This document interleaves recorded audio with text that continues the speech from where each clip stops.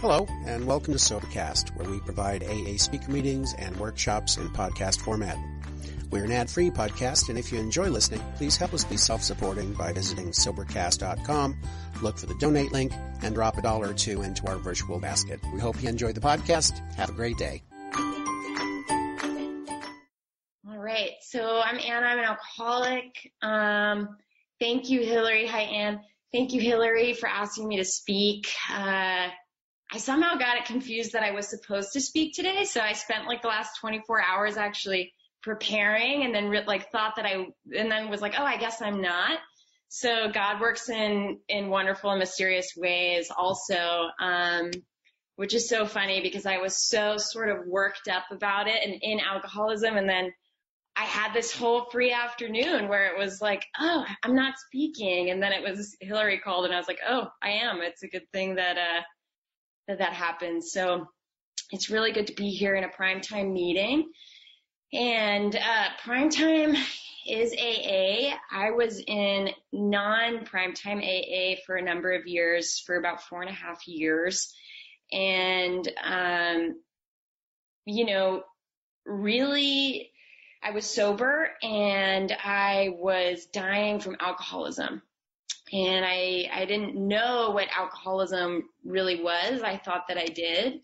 And, um, what I found is that, uh, is that I didn't. So I was suffering from, from a lot of anxiety, a lot of depression, a lot of, um, you know, neurotic, repetitive mind, mind function. Um, and so when I came to prime time, I, I started to learn about what the disease of alcoholism actually is. And uh, this is outlined, you know, in Bob Anderson's work as, as well as in the big book to some degree, but it really is a neurotic mind function. So, you know, when I wake up in the morning, if I start to pay attention to this, I have thoughts going on in my mind that are telling me, usually like what I think that the day is going to be, what my ego is telling me, like, oh, okay, today is going to be really stressful. I might not make enough money today. Um, you know, it's a lot of stories about why not. It's a lot of stories about how, how the world is, about how I am and about how I'm going to fail or the world's not going to give me what I want or what I think that I need to survive. Um, and that it's going to be a struggle. And, uh, you know, growing or, or living with this mind all the time and not knowing that this is alcoholism, I tried a lot of different things. I tried a lot of different medications. I tried many different therapies. I tried, you know, yo, different yoga classes, uh, Chinese herbs, like you name it. I, I ran the gamut. Um, really trying to figure out what was wrong with me. Um, and at the same time, I was, I was in mainstream AA. I was, and there's nothing wrong with mainstream AA. Just for me, for this alcoholic, I couldn't hear the message for some reason. I needed it in this specific way. And so, you know, I was going to multiple meetings a week. I was sponsoring women. I was, I had a sponsor and, um, and the truth is, is that I was constantly struggling with suicidal ideation. And yet I was being told, uh, just, you know, keep doing more service or, you know, do another round of the steps or, you know, uh, maybe you need to do X, Y, Z. And, um, I hit a really gnarly emotional spiritual bottom over the summer and what happened was that God intervened in my life and, um, in my ego, all these ideas that I had about how I was going to fix myself, about how, um, I was gonna, you know, fix what was happening in my brain. Cause even though I couldn't really name it, I didn't have the language for it. I knew something was desperately wrong. I felt in my being something was so deeply wrong and I was searching and not finding. And so I had this moment where I reached an incredibly low bottom. And what happened was in sobriety is that my, my mind opened. I was completely, you know, out of out of good ideas, out of ideas around how to fix myself. Um, and right at that time, I heard one of Astrid's speaker tapes, um, her emotional sobriety tapes, and it was like a light bulb came on in my mind. Um, and suddenly I started to get this language through prime time about what alcoholism is, that I have a, a self-talking mind. I have a mind that talks to me all the time, that I'm thinking that you're thinking things about me, that everyone hates me, that they think I'm doing a bad job. Um, you know, I can even think that right now. I can even see, you know, my mind working like that right now. And, you know, so I come, I come into AA and, you know, I think that the problem is in the pills and the, the drinking and the, the car accidents and, you know, for a little while, like when I got sober in the beginning, it was like, okay, maybe things are going to get better. These things, these substances that are, you know, mind altering, mood altering are uh, out of the picture. So I think my life is going to get better. But the reality is I'm living with a mind altering, mood altering ego that uh, is is not going to let that happen. So I have to, I have to, I realize in step one that, you know, I'm powerless over alcohol, drugs, et cetera, et cetera, that, and that my life is unmanageable. What is my life? My life is what my mind is telling me about the world and about myself all day long. That's completely unmanageable. And, you know, uh, in the beginning and, and also, and well through my, through sobriety, you know, I, only wanted to give up the drinking and the drug thing. I really wanted to manage and control the rest of my life, my relationships, my work, my finances, um, you know, the kind of car that I drove, the type of place that I lived. Um, I really was in, hey, hey, um, in sorry guys, in uh, what Harry Tiebout talks about uh, is com- as compliance. So I'm willing to give up a, a little part of my life or what I think is causing the problem, but I'm not in a surrendered state. I don't really understand that in order to have complete freedom and, and, and peace of mind and peace of being, that I have to have a, an internal surrender to a power greater than myself. So, you know, these are all are, are all concepts that I, I found in prime time and, you know, and I'm, and I'm very, very grateful for everyone here that has um, taught me and, and all of the literature and Sermon on the Mount and realizing that I really, my mind creates my, my reality. And, um, you know, I can either be with God or I can be with, with self. And, you know, today I'm, I'm having a, kind of a hard day um, with with my mind, and what it's telling me is like all sorts of stuff about you know why I'm not good enough and that you know things are not going to work out. And today though I get to have a you know a different experience. I get to pray and I've had I've had pretty miraculous uh results from scientific prayer. And Emmet Fox talks a lot about scientific prayer and, and what I've found that to be and what he talks about it in Sermon on the Mount is the practice of the presence of God. So what that means to me and is that I can, I can get in the secret place in my heart, in my mind, and I can speak to the power. I can invoke the power. I can say, God is with me right now um, God is healing me. God is healing the world. God is shifting things around in a way that is maybe totally incomprehensible to me, but in a way that is ultimately beneficial. I can, I can practice the presence of God through med- meditation and contemplation. So I can read something, you know, from Sermon on the Mount, or I can listen to something like one of Bob's tapes or Astrid's tapes and I can get into my heart and I can get quiet in my body and I can start to notice if the presence of God is at work, if my, my, you know, blood pressure goes down, if I start to, the thoughts start to slow down and I start to have a different experience, it's like suddenly the things that I'm so worried about don't seem so big. The, the stories that I'm telling myself don't have as much power. Um, the thing that I, you know, was obsessing about, you know, whether that's something like drinking today or thinking today or, you know, what's going to happen next. It starts to calm down. I start to develop a, an experience of trust and having a new, a new experience in the world. And so for me, the biggest thing, like I said in the beginning, um, when I came to primetime was like the suicidal ideation. And that was a repetitive thought that I had over and over and over again.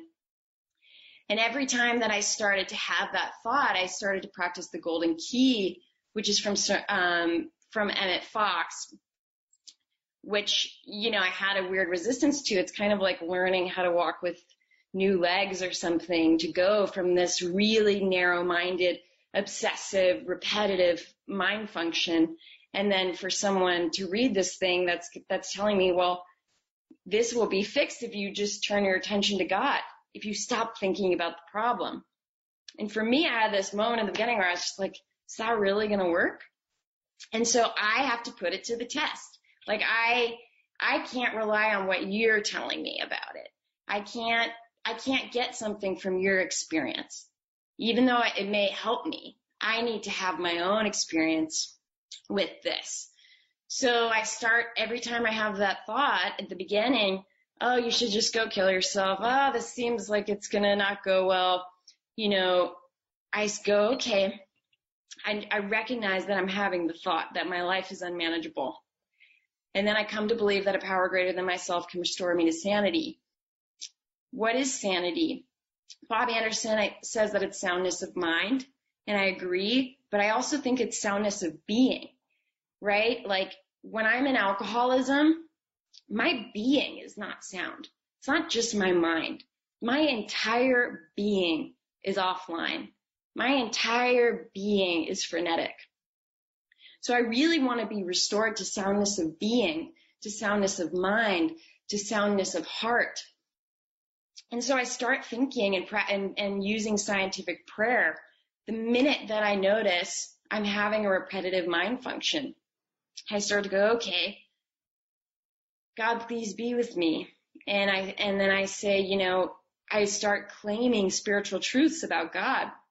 And I, like I said in the beginning, I didn't think this was going to work but it really relieved this repetitive mind function of you should go kill yourself, right?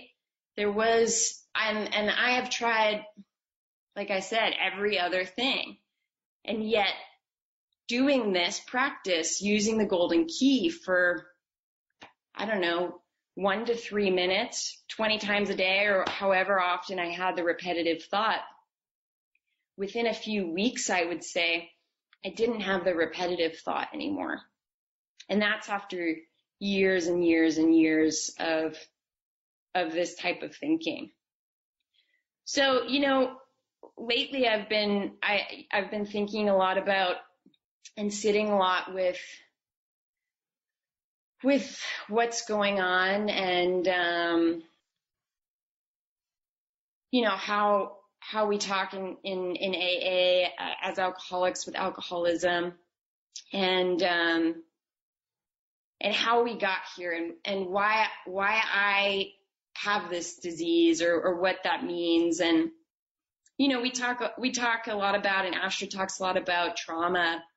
And I think that that's a big part, uh, major and, um, ma- uh, major, a major part, major part you know, very well off, but um, in some ways very dysfunctional. Um, and I, I've been sitting with what's been happening in the world, and and I was looking at the ego factors earlier, and and you know that we're all as alcoholics, we're always in a hurry, um, we're omnipotent, and um, we don't handle frustration well. And I was thinking that, you know, in contemplating this really, that maybe to think about the, my childhood ecosystem creating my alcoholism, which is definitely a big function. You know, what I've been reflecting on is that in a lot of ways, and this is just my belief, but we live in a world that is that is an alcoholic world. Um, we live in a world, many of us, I mean, that is omnipotent, um, that is in a hurry, that handles frustration poorly, that wants more and more and more and more at the expense of our health, our air, our planet. And, um, and it's brought up a tremendous amount of, of grief in a way, right? Like that we, you know, yes, we have alcoholism and we self-medicate in this certain way. And at the same time, um, you know, this ecosystem that's dysfunctional on a family level is also, in my opinion, pretty dysfunctional on a world level. And if I think about the suffix, like dash ISM, dash ism, you know, I was looking that up earlier and what that, you know, the definition for that is an oppressive and especially discriminatory attitude or belief. So with alcoholism, I'm living with something that is an oppressive and discriminatory attitude or belief. But I also live in a system, you know, where that's pretty rampant. And so there's a lot of internalization that has happened of that. So, you know, lately I've been just contemplating all of this and sitting with it and thinking like, in this new world, or, you know, I've been feeling the gravity of the third dimension and, um, how heavy it's felt. And I think for a lot of people, it's felt inescapable, um, especially during this time. And I know when I was drinking and drugging, there was that sort of heavy feeling. And so I got to this place today where I can see that my mind is in this obsessive place and then getting this closing in feeling, which was a feeling I felt literally all the time before I got sober and, and incrementally less in this sobriety and since finding prime time. And really, whatever is happening in this third dimensional plane, you know, with the planet and, um, with the economy and with what's ha- you know happening in, in individual lives and and and more widespread i came again to this conclusion to this i guess spiritual axiom which we're taught here which is that the only solution is spiritual. That if i'm looking for the world for the third dimension for the job or the um, to be able to make sense internally of myself or to give myself relief based on what's happening externally, I will never get it. I can search to the ends of the earth. I can try to, you know, mold what I think the outside world should look like right now so that it, so that I might be able to relax for a little bit, right?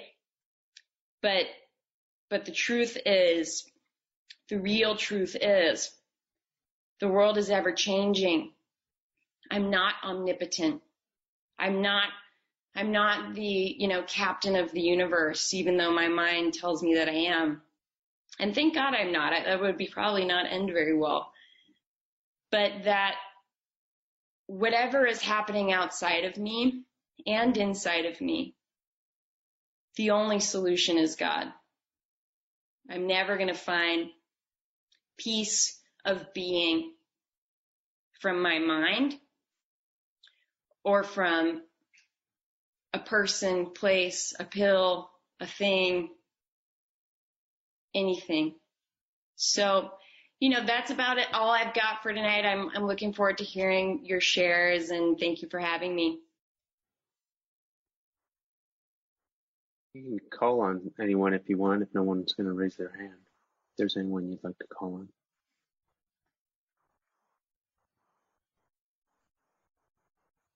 You're muted. Yeah. Anne, do you want to share? Hey, Anna. My name's Anne. I'm an alcoholic. Thank you so much for your share. It was good to hear you. Yeah, when we talked earlier today, I didn't know you were going to share tonight. Um, you know, the Tiebout papers, I haven't been able to find my Tiebout papers.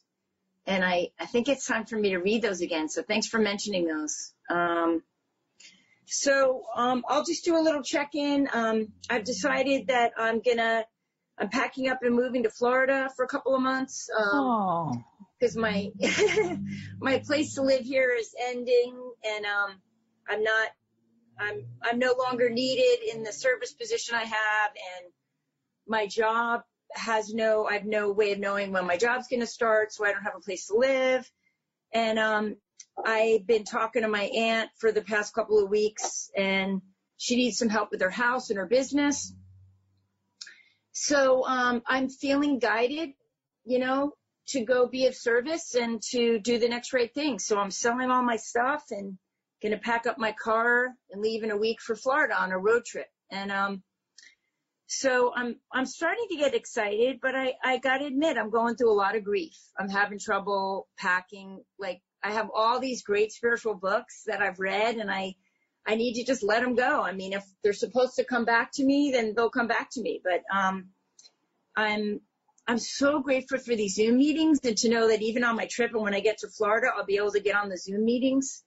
And um, I feel like um, you know, a lot of us are you know, there's like a collective feeling that we're all having, and then there's our individual journey in what's happening. And my individual journey has been so much about what does my alcoholism look like? What is my old character? What is my new character? And, you know, the old character is a lot about victim mentality. And, um, and I just, um, I don't know. I just, I just see where I get to put Anne first and I've never really thought of it that way before. I always have a tendency to want to meet your needs first, and then if I meet your needs and you're dependent on me, then I'll have a place to be. And we're putting the, the focus on myself and taking care of myself is actually scary because then I'm going to be all alone, you know, but I'm not alone. I have, I have a God of my understanding in my life and I've learned to work step one, two, and three around my thinking.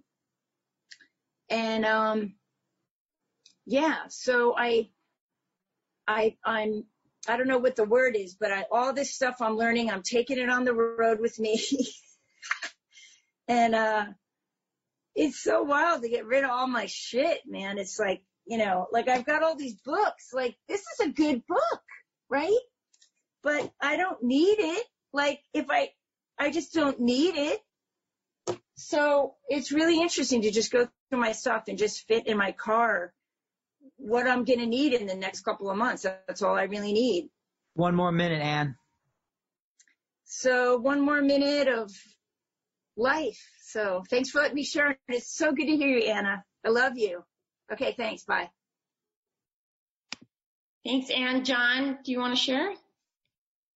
Okay, yeah, I'll share. Um, I'm putting the timer on. Wow, that was really good, Anna. Thank you. I I got treated. And uh, and it was hard at first because um, it was hard to get on here. I had the wrong ID and uh, all this really texting back and forth. What's the ID? Ah, God! And uh, oh, and we need a timer and blah blah blah. But um, but wow, I really I really heard a lot in um your share and you you only shared 20 minutes and and you were done and you were good and and that's all you needed to do. And and um got a lot out of uh what you said. Um the you know prayer uh, uh you know it's like uh and your your you talk about you know the the the golden key and and how how you know is that that going to work for me? You know, I remember that. That's exactly how it was for me. I I I got that little pamphlet at one of my early primetime meetings and took it home and, I said I, I did I you know you can read through it in one minute and and uh, I read through it and I said ah that's not going to work for me and and um I put it down for a year and then then a year later I, I picked it up again because I had to and and it was completely a different experience. And um because I had an open mind um to trying it you know just to try. But but you were using uh this word that I haven't really heard a lot suicidal ideation? I think um I'm I'm I was very suicidal uh years you know a few years into sobriety. I haven't been for the past five or more years at all. Um, you know, I had a panic when this first started a couple weeks ago. A couple mornings I woke up in financial panic. Um, but I've got this way of life and, and it really works. It makes, makes the day possible. It makes, it makes, um, life possible. It makes, um, makes a good day possible. Uh, like before the solution, this way of life was in my in my day, um, if I woke up in the kind of panic I had, uh, not only would I have a bad day, but um, that's you know that was the only thing that was possible. Period. You know, the only thing that's possible when you're panicking is uh, is um, um, a panic unless there's a, a solution. And um, so I'm going to give myself a one minute warning. Um, and uh, um, so, so you really talked about, yeah, the problem, the, the, uh, that crazy mind of mine, um, you know, that judgmental, uh, mind, but the surrender, um, God, if I can only surrender to, to what I've got, which is what I, what it is today, and put my hands up in the air and, and, uh, get out of bed with that financial fear and and meditate. I, today I did it different. I, I, I did it completely different today for the first time in months. I meditated first, and then uh, and then I read or wrote, and then I read, and then I prayed. And man, it's been an amazing day. Like uh, I this pause button that I'm on, man, did I need it? And um, but I, I'm feeling the pain of everybody that's out there because uh, uh, it's my pain too. And um, and uh, like you, I, am looking forward to hearing everybody else. And thanks for thanks for uh, showing up uh, tonight, Anna. Cool. Thanks, John. Um, iPhone Dustin, I'm gonna unmute you. Oh. Okay. Can you hear me? All right, I'm Justin yep. Alcoholic. Um, thank you, Anna, for your share. I relate to everything you said. And, um, I love what you're talking about. I mean, I love what you're talking about surrender. I'm trying to, you know, I have my moments of surrender and I'm looking for a lot more moments of surrender. um, I love what you talked about. There's really only one solution, you know, God, you know, practicing the presence. Um, cause that's everything I'm about right now is trying to rely on the power and scientific prayer. I read a lot of Emmet Fox. You know, um, Golden Key's awesome. I've had. Yes, okay. I'm here. Uh, we, we, didn't hear. I don't, I don't, think anybody heard the last uh, minute or two. Go ahead. Yeah, I, my phone just got completely disconnected. It's back now. Um. I guess where I left off was like, so I did that for about a week, you know, and I was literally in the present, like practicing the presence, you know, and it was like an innocent belief, you know, where I just, I was able to do it. And literally every, like my, the inner peace I had was expressed on the outer, you know, it was amazing. And I've always been, I'm always trying to get back to that, you know, so when you, when you talked about the answers God, um, that's what I need to hear, you know, and, um, and that's what I'm going for, you know, like whatever the problem is on the outer, inner, whatever, the answer is the same. Relying on the power. The answer is God. Thank you for letting me share. And thanks, Anna. Thank you, Dustin. Tenzing B, I'm going to unmute you now. I'm Tenzing Alcoholic. Um, it's great to be here. Thank you, Anna, so much for your share. Um, feeling um, very nervous right now, um, but um, I also feel treated. I um, really liked a lot of things that you sh- that you talked about, um, especially related to um, sound being. Um, because I've experienced sound mind, I've experienced sound being, and I also experienced me being just um, reliant on not my higher power, but on myself or other external things. And it's literally a physical experience for me also. Especially when I, I know it especially since I have tasted days and moments of feeling treated. It's like zooming into the moment for me. Um, and uh, I also really appreciate how you talked about prayer. Um, for me, I also re- I realized how you know I've always had these different types of anchors of kind of just not um, getting lost in the world or in my day. Um, that was alcohol and drugs for a long time. Um, but um, and I really appreciate that you brought that up. It's also been obsessive suicidal thoughts. And I remember, you know, sometimes I even while I had them, I doubted how much I actually wanted to die.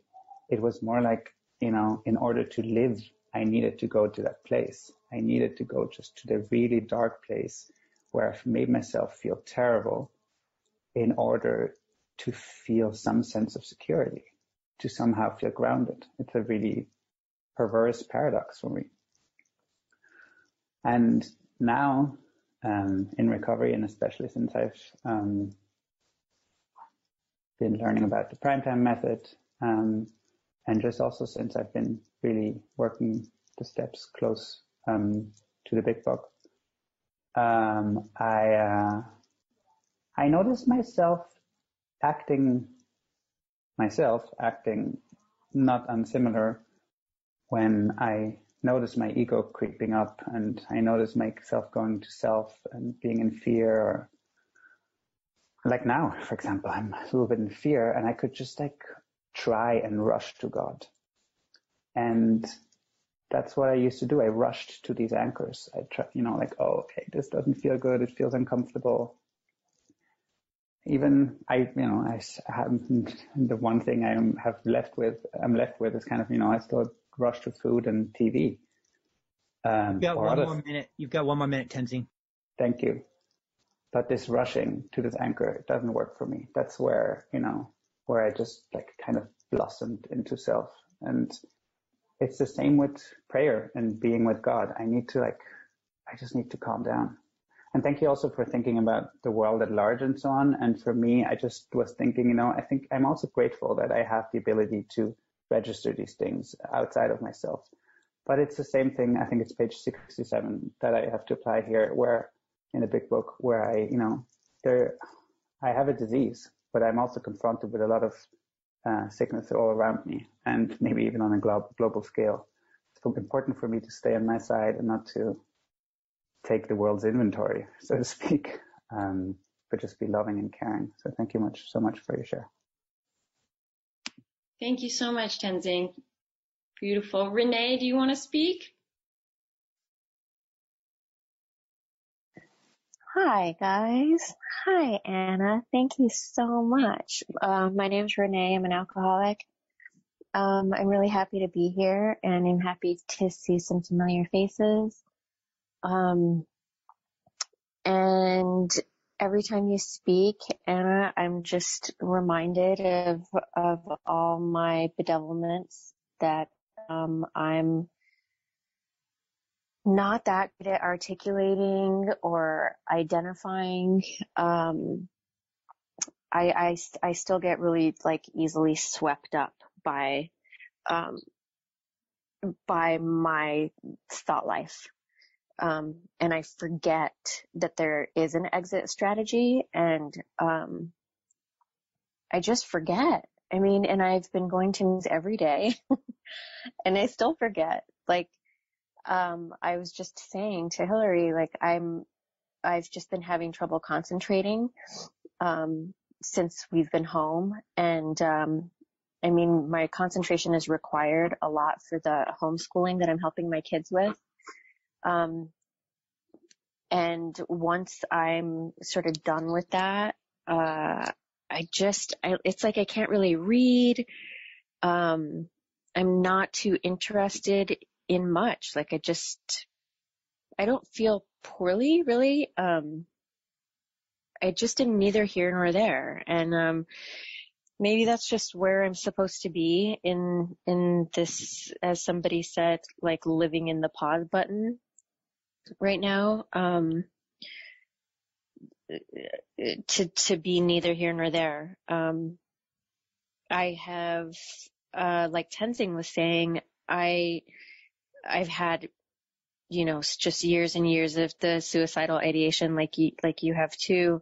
Um, and then once that sort of goes away, it was replaced a lot of times by the thought that I wanted to drink. Um, and so I have to, it's like I have to create those new neural pathways. Um, um, like Tenzing was saying, like sometimes you're having the thought, like, like I'll be having the thought, oh, I'm going to drink, I'm going to drink, fuck it, you know, but I don't really believe it. Like I don't really like in the bottom of me, like really want that. It's just like a neural pathway that's telling me like that's, that's where the relief will be.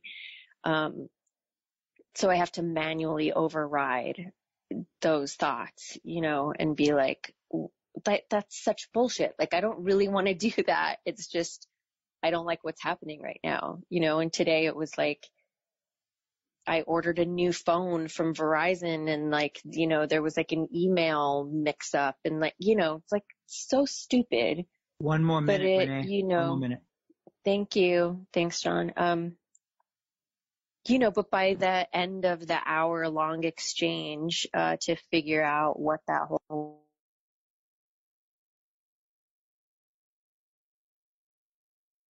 You just got muted, Renee. I don't know how. Uh, Oh. hold. I think maybe you muted Uh, yourself. Oh, weird. Uh, Can you hear me? Yeah. Okay. Wait, you muted yourself again. what just happened? I don't know what I'm doing. I don't know what Okay, I'm doing that. sure. Anyway, uh, by the end of the Verizon exchange, I was just like ready to drink, supposedly. Um, but I wasn't. It was like, you know, I was three minutes away from soundness of mind. I just had to like ride out the impulse to go get in the car. And I do it uh, like all the time, like daily, you know, I'm, I'm overriding the, the silly thoughts. Um, anyway, it was really great to hear you. I don't have any solution to share for anyone, but, um, I sure am glad to be here. Bye. Thanks so much, Renee. Is there anyone else who would, oh, we have a Galaxy Note 4. I'm going to unmute you. Hi. You hear me? It's a little hard to hear you. I don't know if you can make your volume a little louder. Um, does that help? Yes. Okay. Microphone. Hi, I'm Jeff. I'm an alcoholic. I uh, normally live near Boston, and uh, I'm visiting my mom in New York for the pandemic festival. I really appreciate your sharing. It's good to hear Emmet Fox being talked about so much. It's um, something that I was introduced to when I was very new was Emmet Fox and um, a guy that was not my sponsor but acted like a sponsor gave me one of Emmet's books, and I really treasured it, and I had it for years, and I gave it back to him just a few years ago, and then went out and bought my own copy. Um, I was thinking about recently about how so much of what I heard in my early months still is the best stuff I ever heard. One of the most important things I heard was your best thinking got you here. And thinking about the second step and how there's a polite inference in there that the people on this program are insane, or at least come that way. And it's been really important for me to contemplate that possibility. And a few years ago, I realized if I'm insane, I will not have the idea of what sanity is. So how am I going to know how to orient myself or be in charge of that, uh, that pathway? And that's really when I realized the importance of a higher power. When I realized I was not going to restore myself to sanity. And tonight I've been thinking about one of my favorite passages that was um, that I was directed to read when I was very new in the program, which is, is from the doctor's story. And there were the pages of accept on acceptance, and he talks about. I used to think being an alcoholic was the worst thing that could happen to me, and today I find it's the best thing. So if I can't know what's right for me, how can I know what's right for anyone else? And at the time, that was given to me because I was filled with ideas about what was right for everyone else. But in the time since then, I've come to realize I don't know what's best for me. You know, for many years I was also suicidal, and that's a pretty good hallmark of insanity. I think that's sort of a baseline thing right there that points out to me I'm not really qualified to be making the decisions uh, for where my life should go and how it should get there. And luckily, there is a higher power in a program that gives me some great direction. And my higher power, regardless of what name I use for it, it's consistently the characteristic of my higher power is truth. And I notice that all my problems stem from a lack of honesty, that there's some area that I'm not being completely honest with myself or others, and that's that's where the problems come from. One when more I minute. look for truth. Thank you. When I look for truth, and the great thing is this program is filled with people who, uh, you know, see what I'm doing and thinking and saying and can often point out where I'm in error. And I realized a while ago, the way the world changes for me is when I discover where I'm wrong. If I can discover where I'm wrong, then, then life can change, not when other people change. And I think I'll conclude by saying I have less expectation of what my life should look like and less demands on, on life of how it should perform and how my life should look. And I've been blessed to have um, many friends that have died in various ways that I love very much, and their lives were very incomplete and not lives that I would necessarily choose for myself. But my love for them and the recognition of their wholeness and completeness um, has relieved me of the burden of having that expectation that I need to be something other than what I am in this moment. Thank you.